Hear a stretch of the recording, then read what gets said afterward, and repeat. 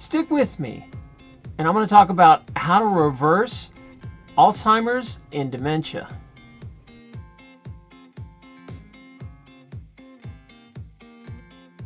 Thanks for joining me. My name is Dr. Tarrin P. Lupo, and thanks for joining us on Lupo TV. Now, I normally run a variety channel, and I usually don't talk much about health topics, but I am a trained chiropractor. I am working on my diplomate in clinical nutrition, which means I've spent a lot of time studying how the body works. I'm going to explain some stuff today that you might not have heard or strung together all these pieces eh, in the same place. Hopefully this will help you out. I again, I know you're looking at me and you're like, you know, the guy has like Christmas lights and glitter in the background because normally I do kind of a lighthearted show. Um, uh, all although we do a variety of topics, they always have a positive, uplifting message. And this will also be positive and uplifting because I want to give you hope. There is hope on some of these fronts. Now, to understand Alzheimer's, you're going to have to understand really why it's happening. And um, I'm going to break it down and simplify it because I feel that science has made this so complicated that it loses the average Joe and they just kind of go along with whatever their doctor tells them without really understanding the basic functions of the body. So, first, before we really dive into this, because I am going to share some stuff, and at the end, I'm going to talk about some stuff you probably never heard before that might help. Uh, I have been around a long time and I rarely hear people talk about it. So, but the first part you probably might have heard, uh, but I'm going to explain it a little better. So, here's a shot from Wikipedia, and I'm going to start here because you have to understand each cell needs nutrients. And pretty much all cells work like this. What happens is you will have nourishment that comes in from the cells, uh, these vessels, and they drain out into the interstitial space to the cells. And then what happens is the cells eat, they metabolize, they poop, and they then excrete all that waste and it gets picked up and it gets put out in these green stuff here, the lymphatic system. And the lymphatic is your sewer system of your body, it takes it out. So, all cells need this to happen, where it gets nutrients, and most of the time, those nutrients are an alkaline solution. And then the cell eats and it creates trash, which is an acidic solution. And you'll hear it referred to as acidosis. It's kind of just like um, protein particles and salts and chemicals and all the trash that comes out. And that gets to the lymph, and then the lymph eventually brings it to the kidneys. Here's a little better look of the lymph system. And the lymph then picks up the garbage and the trash and it takes it through the body. And what happens is they collect in some lymph nodes, which you guys probably know about. But eventually, where they do most of their cleaning is the kidneys and the bladder.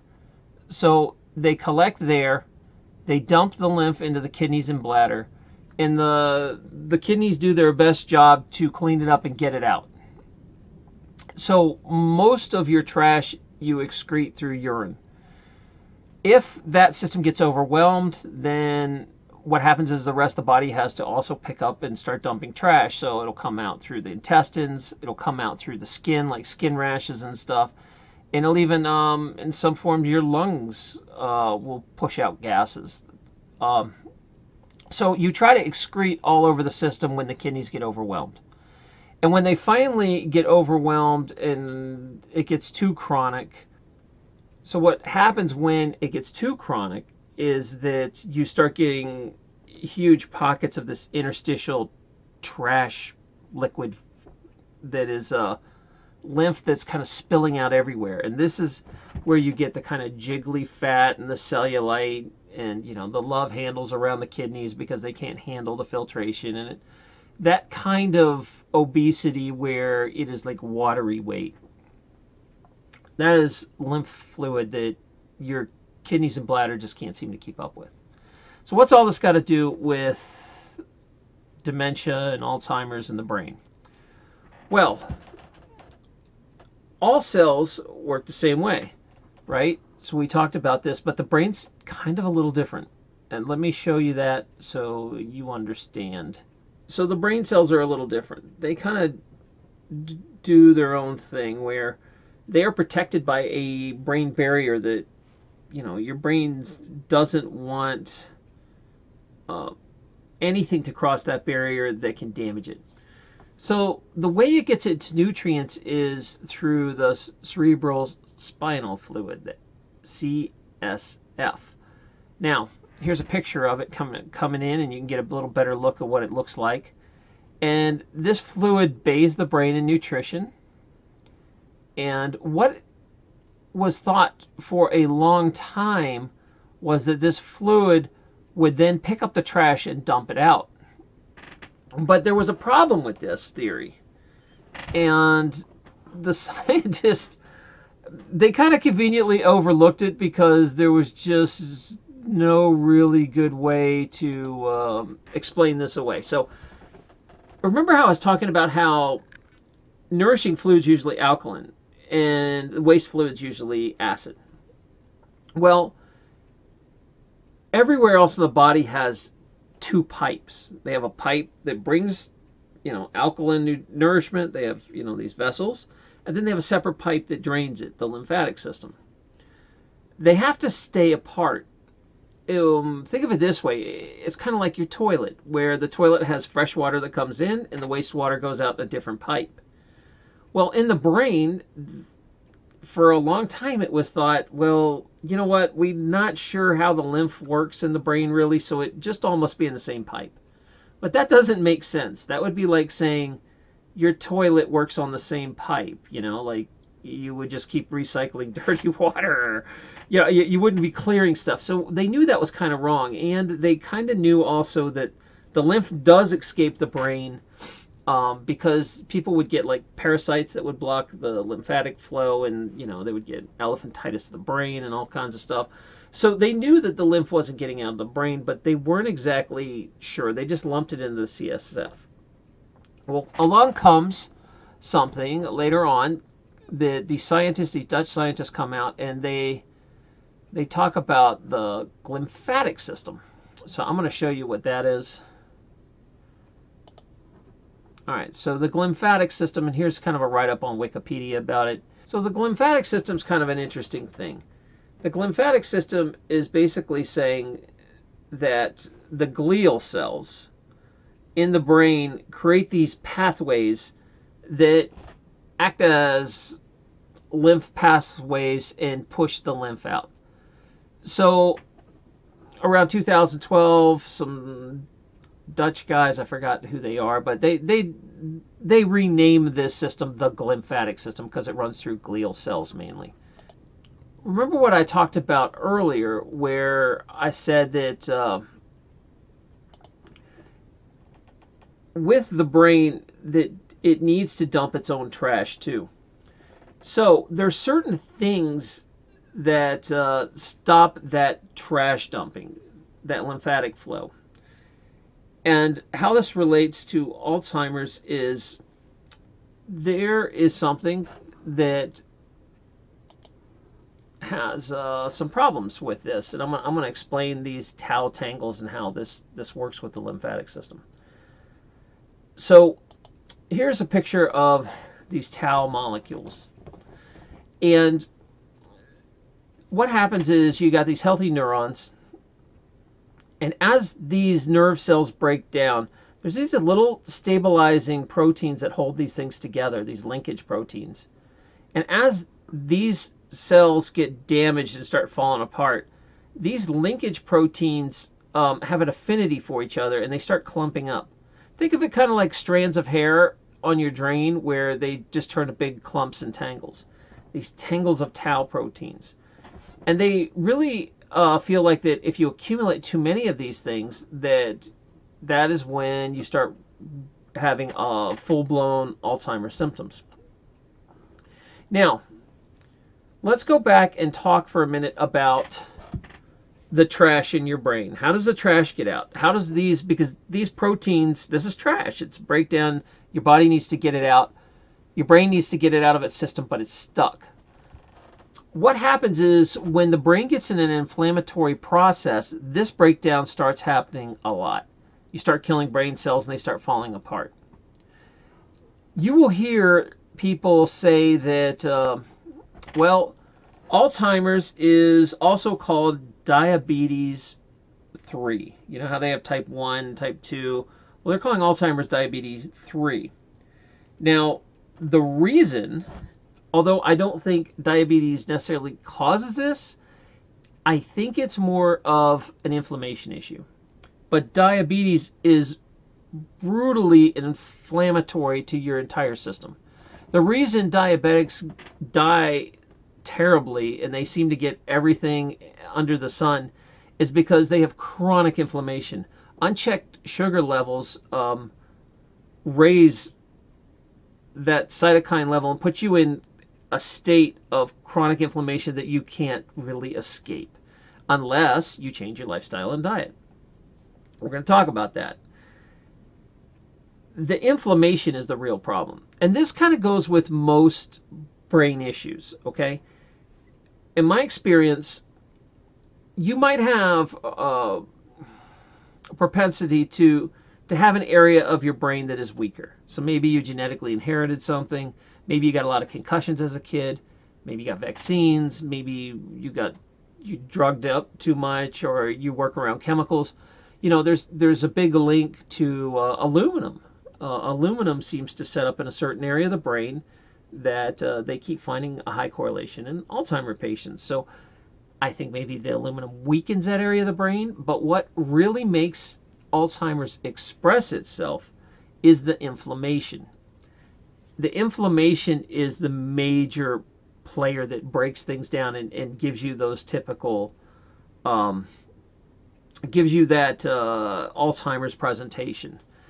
In other words, you know how uh, people if you ever been around Alzheimer's, they will tell you that they have sundowning or they have good days and bad days. So why do these patients, if their neurons are falling apart, they're having all these tangles, why do they have good and bad days? Well, if you really trace it back and you do, like I used to do this with some patients where I would make them do a, a, a diet, a, a diet journal, a diary. And you would see like 12 hours after they ate inflammatory food that they would have a bad day.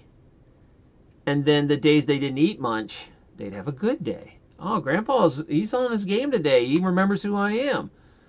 And then, you know, of course, like God, nursing home food is is like one step above prison food. Uh, everything they serve them there is inflammatory. Just, they just keep these these poor people in an inflammatory state most of the time. Now there are a few nursing homes that are, are different, but the majority of them, no, it's it's not good food. So eating that stuff, eating inflammatory food, um, if you keep a diary, you will see them their brain inflame a few hours later, and they will have a bad day and not know who they are. And then as that inflammation kind of comes down, they'll be okay until you feed them again. And you know, a typical diet, uh, God, is like um, you know, what's at a nursing home? They get bacon, egg, and you know, cheese omelet, and then uh, toast, and then lunch is like, oh gosh, I don't know, mac and cheese and a cheeseburger or something. Dinner is, you know, like uh, steak and cheesy potatoes and like dairy, dairy, dairy, meat, meat, meat, oil, oil, oil. All these things that are inflammatory and create acidosis.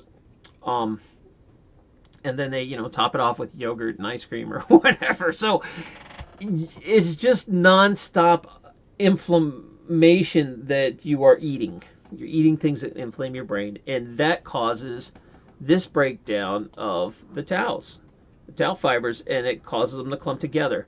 And when you really accelerate this, it creates um, a traffic jam that it can't clear the lymph out. So the lymph gets all clogged with these particles. Your trash can't get out of your brain, which creates more inflammation, and it creates the brain not to work right. It disrupts the neurotransmitters, and the the firing just doesn't work well. and it gets worse and worse as there's more and more destruction. Now, can you reverse it? Um, yes and no. And let me explain that a little better. Yes, there are certain stages, the beginning stages, if you catch it early enough, they're showing in the research you can reverse it. Um, after a certain stage, there's so much damage it's not really reversible, but you can have many more good days than bad. So you can you can calm down the effects. Um, anecdotally, I have no actual evidence, but there's some doctors I do know that I've talked to that said they have reversed the late stages. So there is always hope, but I can't say that's really kind of what what's out there right now. Also, I believe in hope and miracles and and higher forces, and so I don't ever believe that there's no hope. There's always hope. Uh, so no matter how far gone someone is, I, I I'm never going to say that they can't be helped. And don't let a doctor tell you that. Anyway, let me get off my soapbox. get back to this. We're, we're, we're talking science now. So we've got this problem of chronic body inflammation, and our lymph is not exiting our body like it should. So we sit here and we try to figure out okay, we've got to somehow make this lymph work better. Well, two of the major ways that lymph gets out of your system well, actually, I'm just going to focus on the major way. Is, is usually the kidneys. The kidneys are where you want to focus your attention. Your adrenal glands, your kidneys, and um, and obviously, if you have a fire in your body where you're creating nonstop acidosis and trash because you're eating a standard American diet with uh, you know cheeseburgers and, and fries, when when you're eating this stuff, it creates systemic inflammation, and it takes, especially if you've eaten this way for, you know, you're talking someone that has Alzheimer's, probably eaten a crappy diet for 65 years. You know, it's going to take a few months to to calm that inflammation down, and I'm a big fan of uh, fasting people that have these inflammatory processes. By taking away all food and just going to like a water fast or even dry fasting uh, you start seeing results quickly because you stop throwing gasoline on the fire. So fasting these patients lets the kidneys start to clean house and catch up. Especially dry fasting, where you don't you give the kidneys a break and you don't throw a bunch of water in them. You you go um, a day without any food or water. Uh, that actually lets the kidneys throw off some acidosis and come out in the urine and it's kind of like a plaquey mucus, waxy cast, all kinds of stuff comes out in the urine, and the kidneys start filtering the lymph better. Fasting is a great way to start because it costs no money, it's free. Um, now, obviously, when you're talking about someone with Alzheimer's, they're usually on a bag of medication and they're in a nursing home or something. Um, you're going to have to find a doctor that safely fast them through this and reduces their medication. Don't just go like tell them if they're on all these meds and you start fasting them, you can really mess them up. So make sure you do that with someone that knows what they're doing. The other thing is um, the changing the diet. And there are some nursing homes. There's one in New Hampshire here that uh, feeds them mainly a vegetarian diet. And honestly, the least inflammatory thing you can feed them is fruit Fruit cleanses the body, so especially citrus fruits. You want to start them out with a, a breakfast of a grapefruit, you know, something like that. Maybe an oranges, uh, some orange juice that's freshly squeezed. Don't go throw a bunch of sugar in it, just orange juice. That sort of thing. Um, fruits, put them on a fruit diet for a little while, and you'll start noticing the inflammation coming out of their body, and their brain will start working better. And it's pretty dramatic if you actually get strict about it and, and do it. Now, let's talk about um, another thing that a lot of people don't talk about, and that is you have these things. Um, you don't remember I, I, was showing you the tau tangles. Let me show you these. There's also these things that are called um, amyloids that that float around your brain, and they're kind of like uh, trash proteins as well. And they're also um, important to get out of your brain. You don't want these things building up in your brain.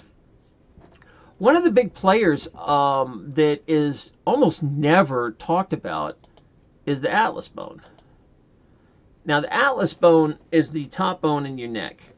And the reason I'm going to bring this up because I was a trained chiropractor and I saw patients with um, Alzheimer's and dementia get better after I adjusted them. And I was like, really? I didn't believe it, but I understand now the science behind it, so I get it better, and I'll, I'll show you why. So let me um, show you. Here's a here's a picture of a spine, or sorry, a model of a spine. The very here's what you're looking at. This is the back of the skull. It's like been cut away. This is the top bone, the atlas, and the second bone, the axis. This junction's very unstable and gets pinched a lot. This yellow thing here represents your spinal cord. And that high up is actually part of your brainstem. Okay? And the red things are the blood vessels going in. So what happens is through a lifetime of bad posture, car wrecks, accidents, God knows, playing sports, whatever you did, for some reason these atlas bone gets knocked out of place and it chronically subluxates out of place. It gets stuck. So this thing gets stuck. And what happens when the atlas gets stuck, uh, or that junction, that whole, it's a very unstable junction, that occipital atlanto uh, junction there is, is kind of messy. And one thing that happens is when this thing gets stuck, it stays stuck. And it's really hard to get back into place. It's not something your body normally can push back into place what happens is that creates a compression on the spinal cord. And if that um, compression builds up enough, it blocks proper cerebrospinal fluid from going up. So let me show you what I'm talking about.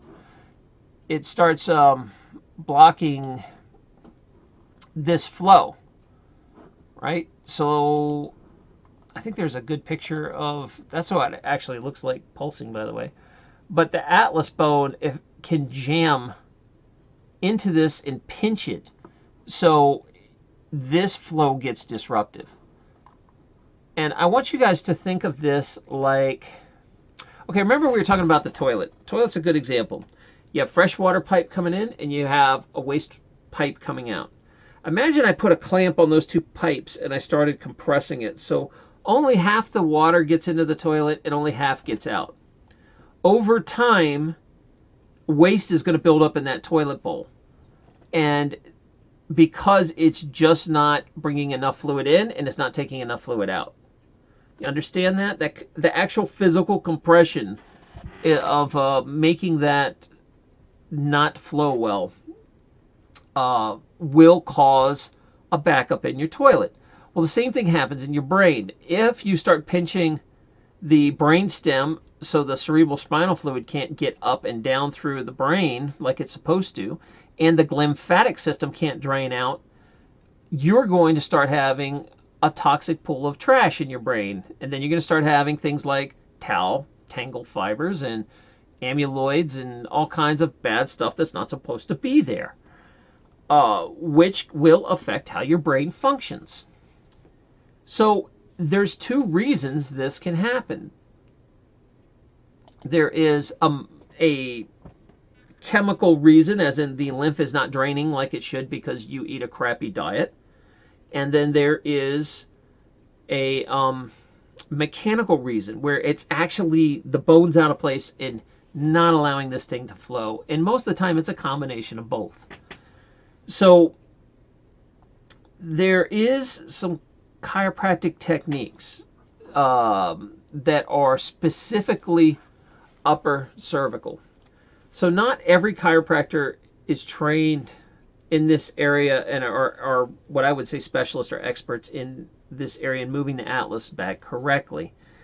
Now, um, you will see if you're looking for a chiropractor that knows how to do this, you will see guys advertise themselves as upper cervical specialist, or it'll say something like toggle technique or atlas orthogonal technique or NUCCA technique or Blair technique.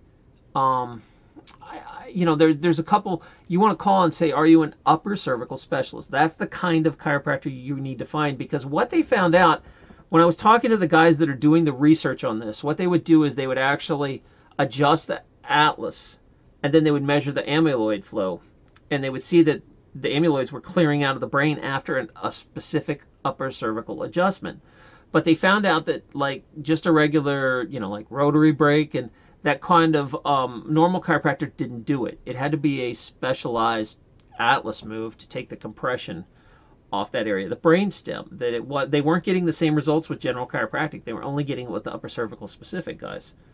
So, um, if you don't know what I mean by that, like like I did old school when I used to practice because I'm retired now pretty much. Uh, I use something called toggle technique, which you uh, lay the guy on, you know, a uh, this this is a speeder board, but you can use it. It's a toggle piece, and what happens is is the bone actually sets. Uh, I, will show you this better.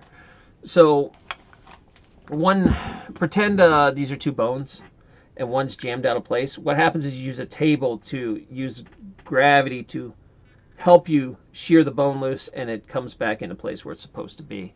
I use old school toggle. It still works. I mean, it is a good technique um, for problems like that.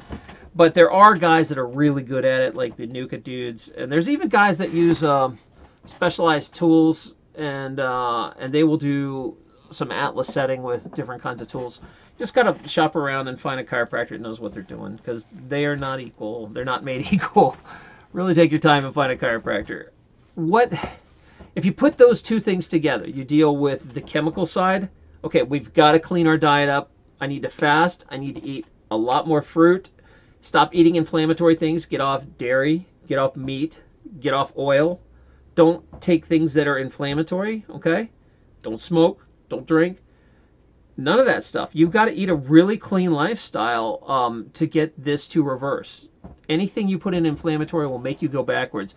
And you will notice when you are strict with these patients, they will start to turn back into them as old selves. And the day they step out, they're, well, I had some birthday cake and, you know, we went to the mall and now he can't remember who he is because he had a milkshake. You know, you will notice immediate reactions when you give them these things that uh, are highly inflammatory.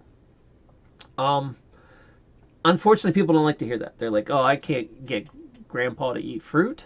You know, he's he's a meat potato guy his whole life. Well, that's why you know this is happening to his brain. This is a big part of it. Is you can't eat like that with no consequences. You can't have an acid forming diet your entire life and be like, "Oh, why am I a victim of acidosis?" You know, it's like, come on, guys, you you eat your way into chronic conditions, and brain conditions are are no different they're just it's finally so toxic it's got up into the brain.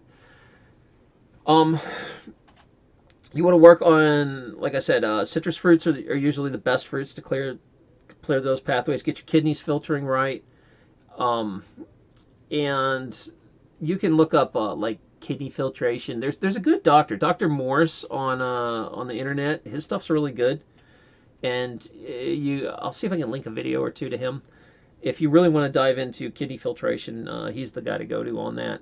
But it, but honestly, I, I fast. You want a quick result? Get a doctor to help you fast uh, your granddad or your grandma or, or whatever. Now, this also, like I said, I lumped in dementia, but eh, all these brain conditions are exacerbated by inflammation. So you can take someone with Parkinson's, Huntington's disease, all these diseases that are brain related, um, dementia, they're all going to get better when you take the constant inflammation out of the brain. Uh, there are a couple interesting things. Uh, you know, um, curcumin seems to somehow get across the brain barrier and calm the the inflammation down some. But again, the vitamins are good for a short term fix, like you know the the turmeric or whatever. But you really got to clean the diet up. It's like you're just throwing gasoline on this fire in your body until you get strict with your diet. This other stuff, yeah, you know, you can get in there with a fire extinguisher for a day or two, would take these vitamins and it helps, but it's not really the long term solution. The long term solution is to stop eating this crap. Sorry, it's just the way it is. So, hopefully, you understand. I'm just going to do a quick review. The brain. Um, is not draining properly because the body is so backed up with lymph. It's now in the brain. Uh, your lymph is backed up because this person has eaten a standard American diet for 65 years. The um, the other thing that can happen is a mechanical blockage that the atlas bone can get knocked out of place, and that could have happened 30 years, 40 years when they were a kid. They could have dropped out of a tree fort and you know fell on their head or something. The only people that are trained to move that bone back in are going to be upper cervical specialists that are chiropractors. Chiropractors are the only people that know how to do this. Um, find a good chiropractor and shop around, make sure that they know what they're talking about. You can see a massive improvement because, like I said, it's kind of like that toilet. We put a clamp on the water in the sewage. Well, I can go in and clean that toilet, like I give you medicines and antibiotics and statins and all kinds of stuff to take anti inflammatories but I'm just going to keep cleaning this toilet because the sewage pipe is constricted. It's compressed. You know, it's it's a never-ending battle. Well, what about if I just took the compression off the sewer pipe? All of a sudden, the toilet will work right, and people will be like, "Oh my gosh, it's a miracle! It's fixed."